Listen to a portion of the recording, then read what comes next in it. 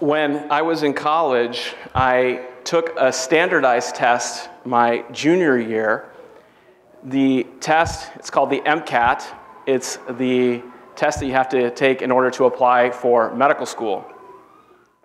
The way that the testing worked back then, this was in 1994, I think it's changed since then, but there were several dozen of us that converged at a testing center. And there we were brought into a particular room. We were assigned a desk. You sit down at your desk, and there is an exam monitor who gives you two things. Our exam monitor gave us a question book, which had all the questions that they wanted us to answer, and you could write notes in there, you could do calculations. It was basically the questions in the scratch paper. And then there was a second sheet of paper which you were supposed to record your answers on. Now, I, don't think they do this today, but back then they called it Scantron, where you would take these number two pencils and you would fill in these little bubbles in a multiple choice test. Probably all the young people have no idea what that's about, but I think many of us do, where you, you fill in all the answers as you, as you believe they should be. Well, I was taking this test along with everybody else. The way they announced the end of the test was quite interesting. They have this, I mentioned this exam monitor who's sit, sitting at the front watching everyone to make sure no one's cheating. At the very end, the monitor almost yells out in a loud voice, pencils down, stand up. So they want everybody to put their pencils down. They want everyone to stand up at their desk because they don't want anybody to have any more time beyond their allotted period to mark any further answers in their answer page. So the time came, and our monitor said, Pencils down, stand up. And like that, the whole room stands up. You can hear all the, the seats scooting. Except right in front of me, there was a young lady about my age who was sitting there furiously putting down answers in her answer sheet. Everyone saw it, the monitor saw it, and again the monitor yelled out, Pencils down, stand up. She just proceeded to keep going, keep going. And we're all thinking, does she want to get disqualified? What, what's going on here? Well, the monitor was obviously perturbed at this. And so she walked over to the students and literally grabbed the pencil out of her hand to prevent her from taking the test any further. So a few of us were curious what happened there. And so we, we chatted with this young lady after this episode happened. And she told us that when she was taking the exam, she decided to do everything in that answer book. She did. She put her answers down in that, sorry, in the, in the uh, question book. She put all of her answers there. She marked it all up. But she hadn't put anything down on the answer key, on the answer sheet, rather. And so when the woman yelled out, pencils down, stand up, she looked at her answer sheet. She hadn't written anything down on her answer sheet. It was all in this basically scratch book. And so she panicked and tried to get as much as she could from her question book into this answer sheet. And the reason I tell this story is that I think it's a great picture of something that I have a lot of concern about in, in the church broadly and certainly for us today. At these conferences, we talk a lot. These retreats, we talk a whole lot. Some of you have come to this weekend to hear fairly well known, fine speakers, people like Dean Taylor and others. You may be taking notes, but I get worried that we're doing all of this intake, all of this head knowledge, but very little gets implemented into action. I get worried that we're stuck in the question book. We have all these fine thoughts, we have these nice CDs, we have these feel good moments, but that's not going to matter because there's going to come an hour where we're going to hear from God pencils down, stand up. And the question that we have to answer is what will we have to show at that moment? The right way to take a test is as soon as you have an answer figured out, you put the answer down on that paper. You don't wait until the very end. You do this in real time. You figure out something, you solve it, you put it down. You just keep moving, steady, steady, steady, all the way through. You don't wait till it's perfect, you put it into action. What we're going to talk about in our session today is the very first command in the whole Bible, which is, of course, be fruitful and multiply. As Matthew records it, he records Jesus' last command, of course, being to make disciples, which I take as being to multiply as well. So when we hear from God one day, pencils down, stand up, what are we going to say? Hey, we read a bunch of good books. We went to Kingdom Fellowship weekend. I listened to all these great CDs. All of that is like marking up writing in the question book. This meeting gets bigger and bigger each year. I think this is my sixth consecutive Kingdom Fellowship weekend. Praise God for that. But I worry that sometimes with these meetings, more and more people come because there's buzz and excitement and a way to get stimulated, as opposed to a way to learn how to act and implement and actually advance the kingdom forward. So, my goal for this message is to take those of you who are serious into very concrete applications, which I'm going to leave you with, to honor Jesus in a specific way. It is amazing, by way of correction, how much bad theology there is in hymns. This is one of my pet peeves I talk about this a lot in our group. Many people have heard me say this. It's very interesting because if you want to control what people think, control what they sing. Martin Luther King Jr., the civil rights activist, used to say this all the time. He said, If we can control the songs of our people, we will control what they believe. And so there was a whole repertoire of songs that they introduced, songs like We Shall Overcome, that were designed to get their people to believe a narrative, to believe a story. Well, there's one type of line, and I've chosen one line from one song, I won't say the name of the song, that says this For you are my God, you alone are my joy. That actually irks me. I don't know if that irks you, but this is the kind of thing that when I read hymns, it bothers me. Does it sound innocuous to you or does it irk you? For you are my God, you alone are my joy. It's a real hymn. The reason it bothers me is that the Bible doesn't say anything like that. In fact, the Bible actually says something that's almost the opposite of that. In 1 Thessalonians 2:19 it says, "For what is our hope or joy or crown of rejoicing? Is it not even you in the presence of our Lord Jesus Christ at his coming?" The notion that we have this solitary joy in God and God alone is an extremely Protestant, unbiblical notion. In fact, a far more biblical idea of the source of our joy and hope and crown of rejoicing or crown of boasting, as some translations render it. Yes, God is obviously the primary actor in that, the primary figure. But just as much, it is supposed to be bound up with people. That is a very important notion that we need to get our minds straight around. So, when our days draw to a close, what are we going to say?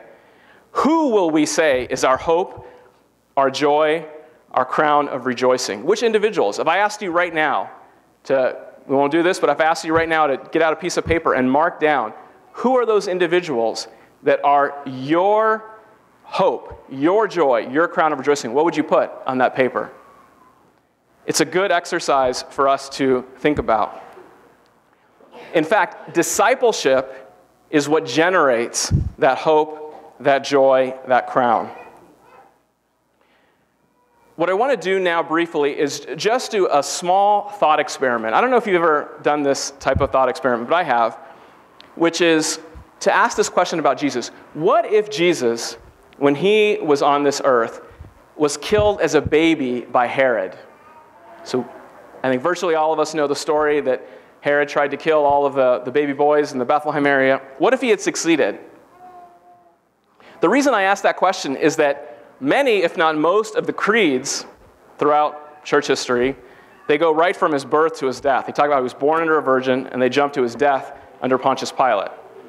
And so, if that's the case, then is it really that big of a deal? What about just saying he was born of a virgin, he died under Herod? Would that blood have satisfied the wrathful God just as much that way? You ever thought about that? Well, hopefully, we have enough sense as kingdom people to know that that notion of salvation is very wrong-headed. There was much more that Jesus accomplished than merely shedding his blood. Obviously, shedding his blood was incredibly important. Going to the cross and dying was very important. But there were several other elements to the incarnation and what he brought that are just as important to putting together the package of what salvation is. So, one of those elements is his teaching. So, Jesus said, The words that I speak to you are spirit and they are life. That's John 6 63. That's a strong statement. The words that I speak to you are spirit and life. In 1 John, it talks about how he was going to, he came to earth. One of the reasons he came was to destroy the works of the devil. That's another important reason. But the third reason that I want to highlight for our purposes this morning is to note that Jesus had to show us how to make disciples. That that third element of his mission was just as integral to the plan of salvation as the others. Now, if we believe that Jesus came to this earth not just to die, of course, he came to die for, for us and to suffer for our sins, but if he came to show us how to make disciples, we should then ask the question was Jesus aimless in his methods? Was he just sort of bumbling through and figuring things out as he went? Now, I think all of us have enough sense to know that that is a ridiculous answer, that Jesus, of all men, was the most purposeful, the most calculated, the most intentional and wise man to ever have lived. And once you see his strategy, once you see his method, it is unmistakably clear. And I'm going to walk through some things which I think probably most people in this room have missed. In Jesus, we see the plan for ultimately conquering the world. What, what's so interesting is that it's, it's almost like he's a great general, where generals craft these plans, and often their plans are misunderstood. They're misunderstood because they have the art of surprise. There's something to it that people don't get. When it's all done, you look back retrospectively and you see the genius of the general. You see the genius of the plan as it unfolds. Just as the plan to rescue humanity through a baby in a manger was humble and unassuming, it is just as much the case that this plan to make disciples of all nations is filled with genius and is awe inspiring. The Son of God contemplates and weighs all of the alternatives, and he designs a method that will secure the salvation of his people. Jesus knows that his plan will win. At Dean Taylor the other day, he noted that Jesus' discipleship can be summarized in two words, and I think that's absolutely correct. Follow me. You pray like I pray, you teach like I teach, you heal like I heal, you love like I love. That's his plan. I've sometimes called this intensive companionship. That's my way of summarizing what Jesus was doing in his way of discipling his 12. And the, the thing that I, I sometimes ask myself is if Jesus was on earth, the perfect man, the Son of God, had to spend three years pouring out, investing into this small little group of men, Dare we imagine that with far less effort, we can accomplish discipleship in other people? Have you ever thought about that? That Jesus himself, the perfect man, the Son of God, it took him, and his plan took him three years to pour into these people. And somehow we think with some little cliche or class or something like that, we can accomplish what Jesus called discipleship. I think we're mistaken in that notion. Yesterday, there was a comment that was made several times by a few speakers that said there's no command in the Bible to be in community. And that's correct. But let me offer my humble thoughts about that particular subject. Neither is it the case that there is a command in the Bible to plant churches. You can look in the whole New Testament, you will not find a command to plant churches. So, is, is planting churches wrong? Should we be part of churches? How does that work? Well, of course, once we realize the primary command is to make disciples, disciples self organize themselves into churches, and churches are the natural outflow of the process of making disciples. My contention is that in a very similar way, we are given many commands that are the one another commands. You've probably heard that phrase before. The one another commands are the many commands in the New Testament where we're commanded to do things like love one another, Bear one another's burden, Galatians 6. Through love, serve one another, Galatians 5. In honor, give preference to one another, Romans 12. Receive one another, Romans 15. Submit to one another, Ephesians 5. Confess your sins to one another, James 5. So, my contention is that if you are trying to do the one another's, out of that will spring something like a community. Just like churches spring out of making disciples. There's a natural and organic connection between the two. Discipleship is to church planting as the one another commands are to community. So this is why the kind of the typical Sunday Wednesday model that so many people have is broken. We are unable to live out those one another's with the same degree of intention. So I mentioned that Jesus practices an intensive companionship.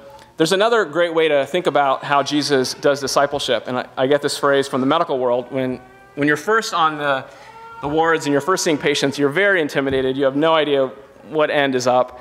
You, you hardly are uh, able to have even a shred of confidence. But I remember when I was on the ward, someone told me this. They said, just remember this phrase see one, do one, teach one. See one, do one, teach one. Simple as that. He said, you're going to see a bunch of things, but when you see it, know that the next time you're going to be asked to do it. So watch it with the intent that you're going to be doing it shortly after. And then as soon as you do it, know that as you do it, you're going to be teaching it to somebody else right after. That is actually a very good way to describe what Jesus does. He, of course, prays and does miracles and heals. And then he asks his disciples to do that. And then he asks his disciples to teach others to do that. See one, do one, teach one. But there's another very important dimension to this conversation. And I want you to notice this that Jesus ministers to three basic groups, and we're going to call them concentric rings.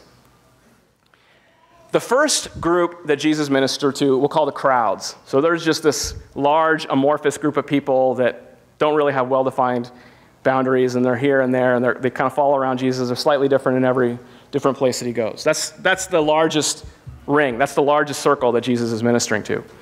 Then there's another ring inside of that, which we'll call the 12. The Bible calls them the 12. Those are the 12 apostles. But there's another ring. There's another ring inside of the 12, and they are the three. The three are, of course, Peter, James, and John. Now, I'm going to make a statement that hopefully isn't controversial. This is not by accident. This is actually by design, these three concentric levels of ministry that Jesus operated in. He didn't just happen to do this. By way of analogy, I will make a loose contention that our Sunday gatherings in most churches that we're a part of are sort of like the crowds. There's visitors, there's people there, there's often kind of you don't know who's going to show up, and they're fairly amorphous. I mean, there's the, the core group will be there, of course, but there's just this large mass of people. The 12 is probably a lot like your midweek, where your midweek, hopefully there's a relatively stable core of people there that you know are going to be there time and time and time again. You, you can count on them. But the question is, is, what about the three? Where does that happen? Where does that happen for you? Where does that happen in your church life? The contention that I will make is that for most of us, probably, there's a missing link, which is that Jesus modeled this, this final concentric ring that most of us tend to overlook. There's a principle in Jesus' ministry that we see time and time again, which is that to win the many, focus on the few. To win the many, focus on the few. And the, the beauty of the kingdom parables of the leaven and the mustard seed is that the smallness of the means is contrasted with the greatness of the end. There is something very beautiful in Jesus' ways that he demonstrates that even with the three. So, with the three, think about where were the three present? In Jesus' most intimate moments, when he goes to the Mount of Transfiguration, he, he brings Peter, James, and John along with him. When he's praying at Gethsemane and, weep, and weeping, and the, the drops of sweat are falling like blood, he invites Peter, James, and John to come with him. I believe we all, as individuals, as part of our congregation, should have these three layers as well. Remember what Jesus said For I have given you an example that you should do as I have done to you. John 13, 15. Now, you may think I'm being too literal here and being pressing things too far, but, but Hopefully you're not, and hopefully you can work with me through this. Now, I want to ask you do you have people at these three levels? Do you, do you have a sense when you, when you hear that, you think, like, oh, yeah, I get this. I understand what this means? Do you know what this looks like? Well, I have some great news for you, which is that if you don't, Jesus has an answer for us about how to do this. We're going to walk through that, what this actually looks like practically. And the answer is such that when we hear from God, pencils down, stand up, we will be able to bear incredible, multiplicative, as we will see, fruit. So I told you I was going to give you a specific challenge. This is a, a very specific be like Jesus challenge today. Now, before I give the specifics of the challenge, I want to motivate you with a particular example. So, I don't know exactly how many people are here in the room today. Somebody told me 500. 913. Wow. Okay, so there's almost 1,000 people here. It's impressive. What I want to do is the following exercise. Let's pretend for a moment that none of us, not a single person in here except for one, knows the Lord. We're all lost. And I'm going to, for the sake of our example, I'm going to choose here Brother Tim as the one person who knows the Lord, and he has purposed to out, do outreach to this group of 900 people. Now, this is an intimidating group. This is a big group, right? How do you even tackle something like this? But let's have uh, Tim choose, and I want you to stand up, choose three different people, and maybe you can scatter them throughout, just to stand up, and you're gonna, we're gonna pretend that you're gonna pour yourself into these three people, just like Jesus did over the course of a year. So go ahead and choose three, maybe one in the front, one in the middle, and one in the back. So if you can stand up after he picks you. And you can choose a man or a woman, it doesn't matter for this example.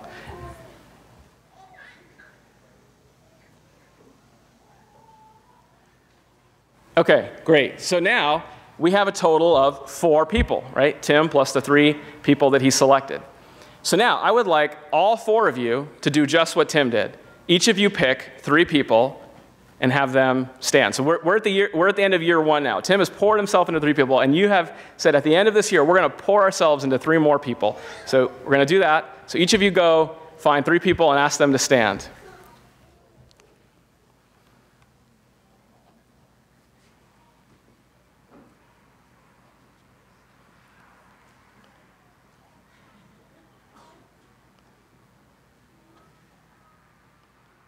Okay, so now we are at the end of year two, and we have 16 people standing up.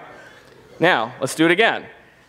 Each of the 16 of you choose three people, have them stand up, and try to distribute it so they're not so clustered together.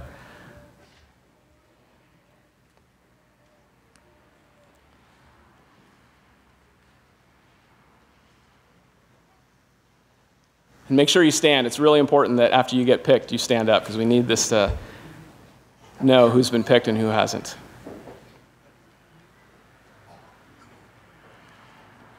Okay, do we get all of them? Okay, so now we have, we should have, if everyone did their job, we have 64 people standing up. Okay, let's do it. So now we're at the end of year three, right? We've done this three cycles. Now, let's do it again. Each of the 64 of you select three people ask them to stand. Again, try to distribute it out a little bit.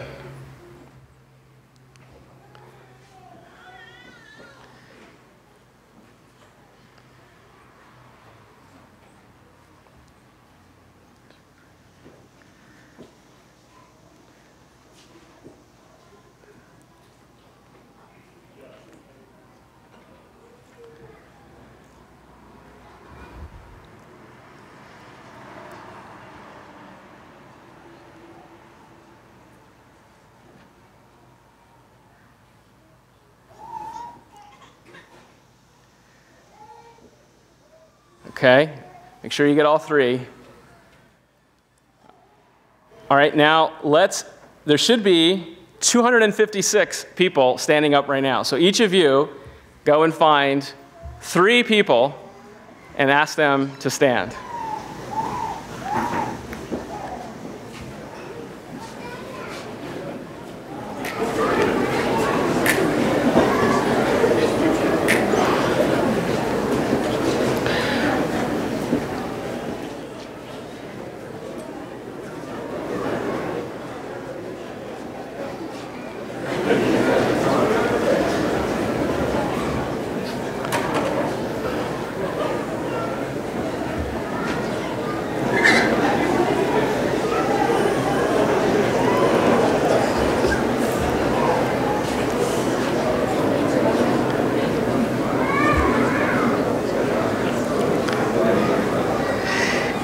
There's a cluster in the front here that I think has been ignored. I think most of you are going in the back, assuming there's people, but there's a bunch in the front.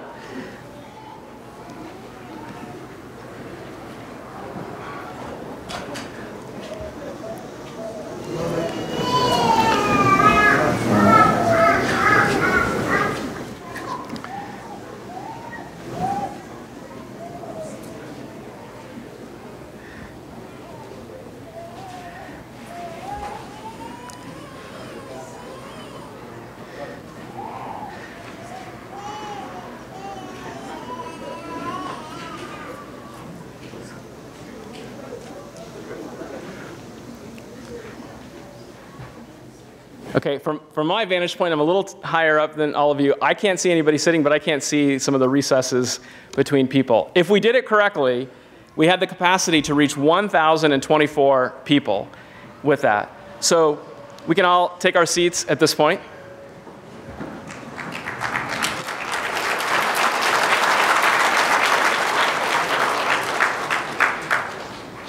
So I don't know about you, but for me to think about working with three people is much less intimidating, much more workable than looking at 913 people who are sitting here. This is the power of multiplication, as opposed to the power of addition. Jesus gives us the principle of multiplication. You know, th- there's many ways we can see this. I'll just I'll tell you a couple of other examples that for me are compelling. Let's imagine that you meet someone who's a super discipler, call them a mega discipler. This person can disciple a thousand people a year. It's almost unbelievable, right? I've never met somebody who can do that, but let's say there's a person you meet and they legitimately can disciple a thousand people a year. With our little humble strategy of just working with three people, pouring into them, very simply, for one year and repeating just like we did, after seven years, our, our, master, our super discipler has now discipled 7,000 people. How many would we have achieved? Over 16,000. After seven years, we, we beat the super discipler. Isn't that amazing? This is, this is a genius strategy that Jesus had. You don't have to be the super disciple, you pour into a small number. Make it even more amazing. Let's say there was one follower of Jesus on the planet, just one, and you said, I want to reach the whole world, and you're the only one, there's roughly 7 billion people on the earth, with our exercise, what we just did today, reaching out to three people, you could reach the whole world in 16 years, one six years, every person on the planet. This is amazing. This is the power of multiplicative growth. To win the many, focus on the few. Quiet and unassuming is the growth of the mustard seed, but great is its growth. So, what inhibits multiplication? We could spend a whole sermon about this. I'm just going to spend a very sh- short amount of time on this so we can get into some of the practicals. There's a couple of things. One of the, the most common causes for multiplication being hindered, even in the biologic realm, if you, if you for example, look at humans who smoke, their fertility actually falls quite a bit as a result of all the toxins that go into their body. Toxins are naturally what inhibit reproduction. So I will make the contention that the best way to safeguard growth, because I care a lot about sustainable growth. There have been many movements in the last 30 years, 30, 40 years. I can think of a handful right off the top of my head that have grown very quickly but have collapsed very quickly as well. What I have not seen in, frankly, any of those movements is a, is a teaching of separation from the world. Separation from the world is what prevents toxins from getting into our blood, into our community. If you take away separation from the world, I guarantee you, you, will, you might get some flashy growth in the beginning, but I guarantee you it will not be sustainable. There is something very, very important that most people don't appreciate. They think separation is this weird doctrine. It is the safeguard that our Savior has given us to allow us to grow without toxins. There's another reason that growth doesn't happen. And again, think biologically about this. Think about husbands and wives. Husbands and wives have to be intimate in order for there to be reproduction. If there's no intimacy, there's no growth.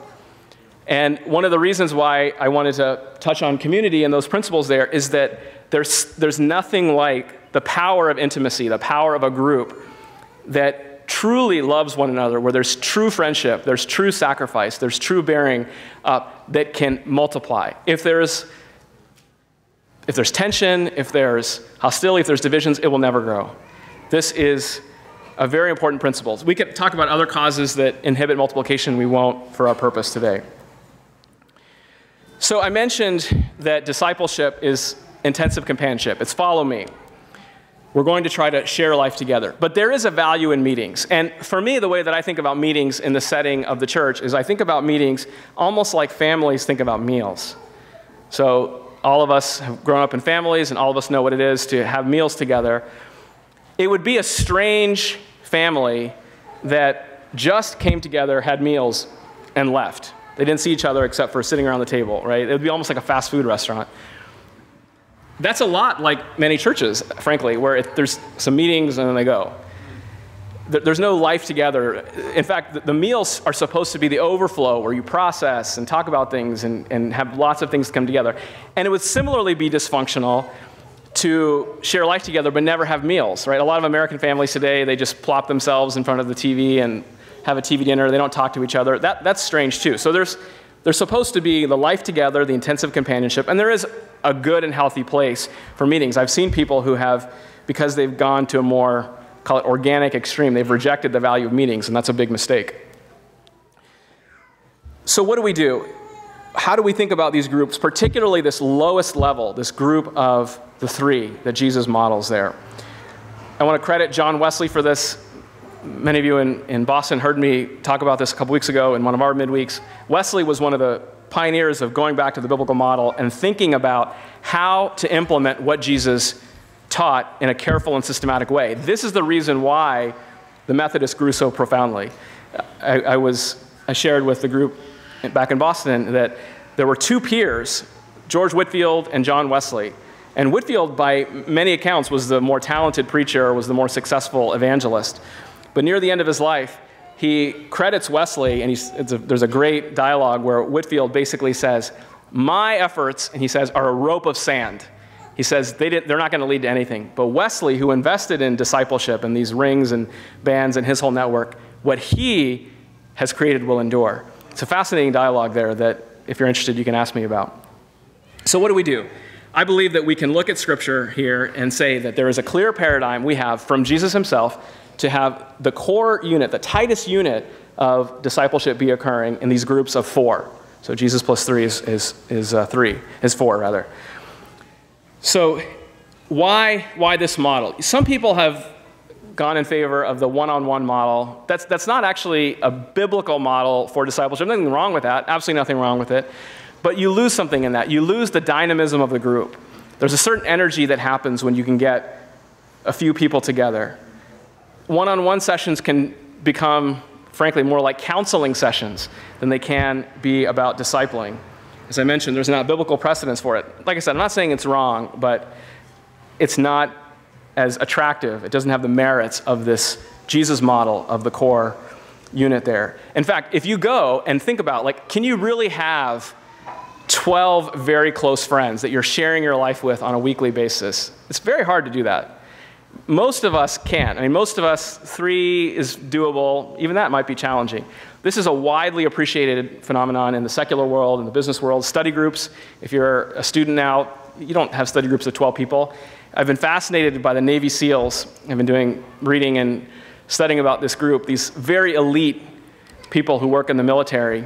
And they similarly, their core groups are these groups of, approximately three people. There's a lot of ways you can see this, many different evidences for it from the secular world and from the Bible. So if you hit six, I think you should actually multiply into two. The right number is between three and five. So my challenge to you is to work with your church, work with your leaders, and have every person seek, seek to be working in this kind of context. Now, it is important that in these groups we find open, hungry people. We don't want to be doing something for the sake of numbers we know that Jesus' call to discipleship was a very costly one. Jesus made these calls of discipleship, and often people would say things like, Well, I got to go back and bury my dad, or Well, I have to go back and take care of this. And he said, Go. You're, you're not going to be with me. The single most important attribute, I believe, in finding a person this is humility. Discipleship at its core is about correcting and teaching and speaking into one another's life, lives. And if you don't have a teachable spirit, discipleship doesn't work. It just it, it can't happen. We have to be people who are humble and teachable and willing to learn from one another. You know, one of the things that I, I, I actually do this from time to time in my own prayer life. I think a lot about the analogy that Jesus gave of us being like sheep. And so I get on my hands and my knees, get on all fours, and I go ba ba like a sheep to remind myself that I'm a sheep because we're sheep. And we, we can never get so full of ourselves that we forget that basic need. So, what do you do in these meetings? I think there's basically four components there should be. The first is prayer. I think it's a great thing to come together. There, have, there is a handful of people here. We've been praying together for about two years, twice a week from Tuesday, uh, Tuesday and Thursday, 6.30 to 7.30 or so. And we have bonded so much through that. And Tim is, Tim is one of the people I see him nodding. And, and some of the other people are not even in the same state. But it's been tremendous to see how much this bonds us together. We share hearts. We know what's going on in our lives. It's usually about five or six people. It's been tremendous. The next component is accountability. We actually have adapted John Wesley's questions for our purposes. And I'll read you some of the questions. Like I said, most of these come from Wesley, but imagine being asked this every week, and how would you receive this? What would this do to your spiritual life to have three trusted brothers and sisters, brothers or sisters, we do single gender, men with men and women with women, brothers or sisters, depending on your gender, ask these kinds of questions. Here's, here's a few Am I self absorbed, self pitying, or self justifying? Have I grumbled or complained? I like this question. Wesley had a way of writing things. Does the Bible live in me? Imagine somebody asking that on a weekly basis. Does the Bible live in me? Here's another one. When did I last speak to someone about my faith? What's your answer to that? Somebody asks you today. What's your answer? This is not from Wesley, but we've put this in. Have you looked at anything the past week which you would not with the church watching with you? Have you led a life of self denial? Jesus said, anybody who wants to follow him must deny himself and follow him. The Moravians would ask the question, which I love. They would ask one another, What do you see in me that is marring the image of Christ? Isn't that a great question to ask people who know you well and can work with you and say, Be open with me. What do you see in me that is marring the image of Christ? Discipleship begins with something small, something unassuming. As I said, when we learn things, we ought to put it down to paper. We ought to put it down on that piece of, piece, piece of paper that's our answer paper, not keep it in some other realm. I mentioned the next element in this. There's, four, there's three elements. First is prayer, second is accountability. The third, actually, there's three elements prayer, accountability, and the last one is the word. So the word is something that I think we, we still haven't even scratched the surface of how important this is. I was so glad that KFW has consistently put these memory passages up there. And a lot of people I know have the reaction like, oh, that's for children. Children memorize verses, adults don't do that. It's a huge mistake, colossal mistake. It's one of the worst mistakes that you can make. One of the things which I love about Jesus' parables, particularly the parable of the sower, is that he teaches us that our fruitfulness depends on our hospitality to the word. Such a simple concept, isn't it? Our fruitfulness depends on our hospitality to the word. If we allow the word of God to take residence in our heart, divine life and power spring forth. Can you memorize regularly? What a great way to do that in the context of a small group of people. Again, it's hard to do in a big group, it doesn't really work. But with a small group, pick a, pick a verse, pick a passage, pick a book, pick what works for you. I work a fair bit with college students, medical students, graduate students, and this is something that I tell people again and again that there's something about the Word of God. This comes from Jesus it's described as being something that grows. Biological things, they grow multiplicatively, they grow exponentially. Yeast Yeast is a single celled organism, yeast or leaven, and it goes from 1 to 2 to 4 to 8 to 16, just like we did. The analogy of the kingdom that Jesus gives there is very much a multiplicative one. If this is the type of metaphor that's used for the word, being like a seed, something biologic, something organic, there's something that we can harvest as a result of this, which let's call the compounding interest effect. So if you can get the word of God into your life early, you get a much greater return with time because that interest will compound. You know, one of the things that I'm, I'm so grateful that my parents had me do this. When, from when we were three years old, my, our, my parents would have us memorize whole chapters of the Bible, usually one to two, and they would have us get up in front of the church and recite it. Three years old. They would sit with us for hours and hours we would, they would just go over it again and again and again and just drill into our brains. Okay, now you're going to get up on Sunday, you're going to say in front of everybody. And I am so glad for that because I know that that compounded in so many different ways.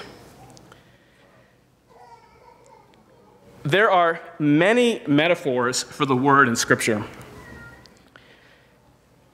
One of my favorite metaphors, one of my favorite pictures of the word, which I hope this excites you for, for the purpose of your discipling multiplicative groups comes from Ephesians 6, where the armor of God is portrayed. And what, what article, what weapon is the Word of God likened to?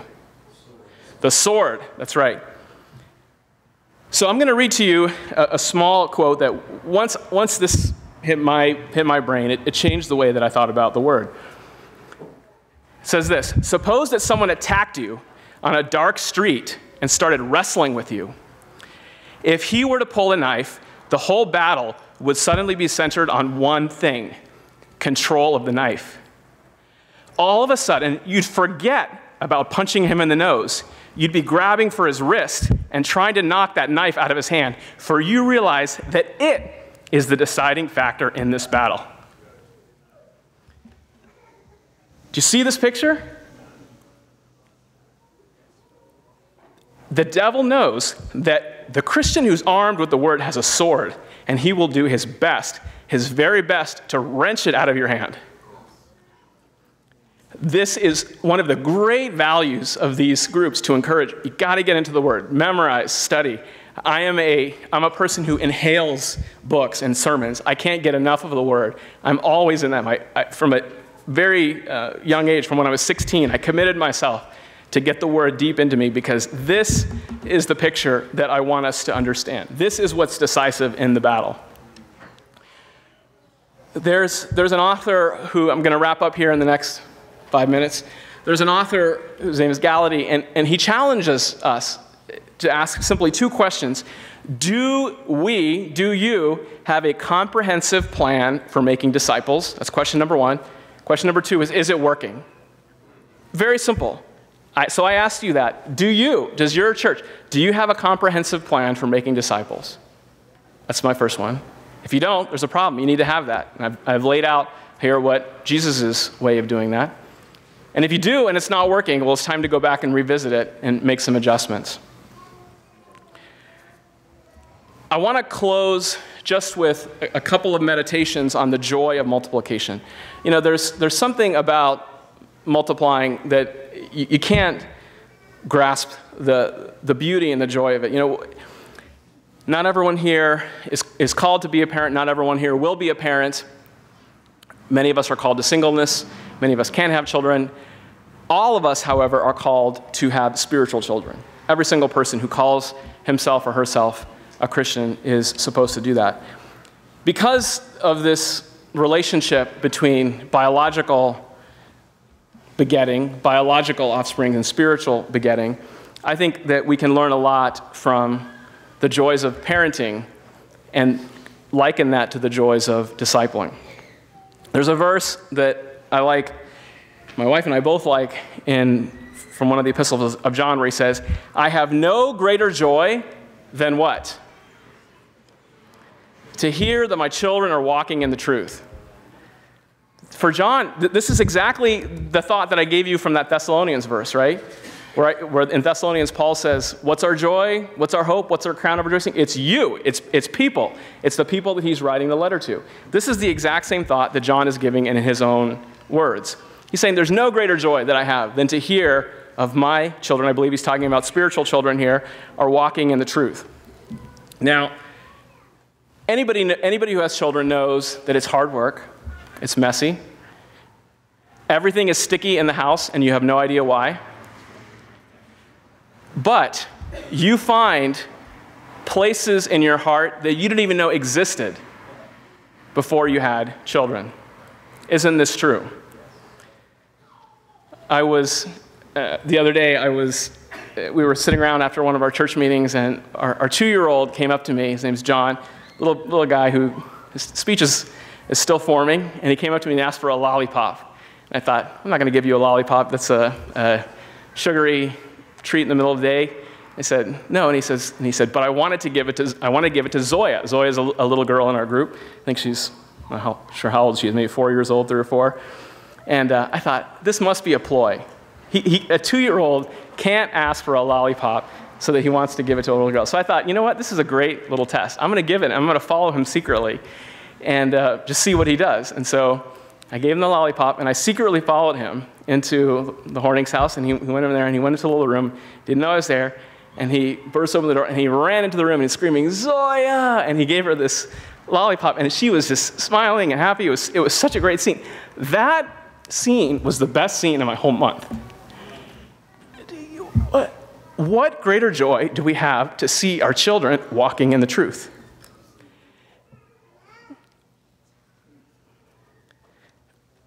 My plea is that we consider the aims of Jesus and we take this seriously. The time will come, we will all hear pencils down, stand up. I don't want this to end up in theory. I don't want this to end up in some kind of scratch paper. I want this to end up in people.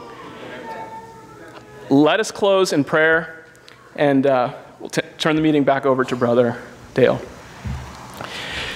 Father in heaven, thank you for the model that you have given us in Jesus, who is the genius of all geniuses, who understands how powerful multiplication is and who has shown us the way of life. I pray that we would invest ourselves in concert with our church, in concert with our, our midweeks, into a small group of three, three to five people. I pray that every person here would feel this burden to, to live as Jesus lived, to, to be part of these discipling relationships as, as he called us to. God, we have not even scratched the surface of the multiplicative power that exists in these principles we have not even exist. And there is in this room, no doubt, the power to reach every nation within five to 10 years if we so choose. Father, I, I ask that you would mobilize people. I, I pray that we would not be content to be stuck in the same places, that we would be bold and fearless and willing to step out, willing to, to seek to make disciples as Jesus called us to do. May we, may we also be able one day to stand before Jesus and the Father, and to say and to present before you, our Father, the children that you have given us, and to laud them as our joy, to laud them as our hope and our crown of rejoicing. Give us power, give us strength from on high. We pray all these things in Jesus' name.